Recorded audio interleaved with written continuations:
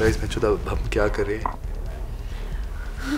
क्या करें? cover बना भी तो कौन? उसके पास पावर था to do so much so much she could change the whole game.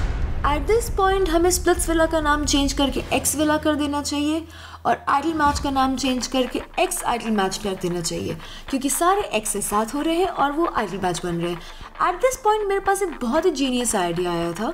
क्यों ना मैं आईडी से ब्रेकअप कर लूँ फिर ये मेरा एक्स बन जाएगा फिर कल हम डेफिनेटली आइडल मैच बन जाएँगे क्योंकि डेवन से ये प्यार मोहब्बत तो हमें कहीं लेकर नहीं जा रही है। सही बात है का मुझे समझ नहीं आया कल सीन एडी गुस्सा क्यों नहीं हुआ? तूने बात किया एडी से? लो वो मुझे भी नहीं एडी गुस्सा क्यों नहीं हुआ? क्या बोलता है? उसको पता था क्या कि ये होने वाला है? मुझसे मुझे तो शौक लगा है वहाँ पे। कि वो कशिश का नाम लेगा? I don't fucking know I know. Because he fucking knew. उसको पता था। And he knew your name will come. क्यों? Okay with it Looks like it. किसी के अगेंस्ट कुछ बोल दोगे तो उसको निकाल देंगे क्या?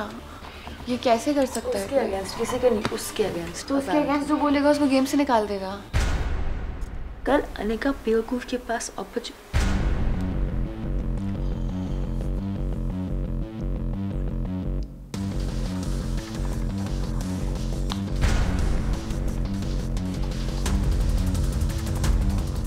छोड़ सर।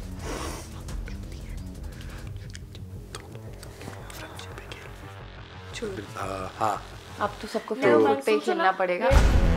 कल रात के डोंग के बाद ये तो क्लियर था कि अब तीन आइडल मैच है जिनके पास पावर है जिनमें से दो आइडल मैचों से मेरी बिल्कुल नहीं बनती है।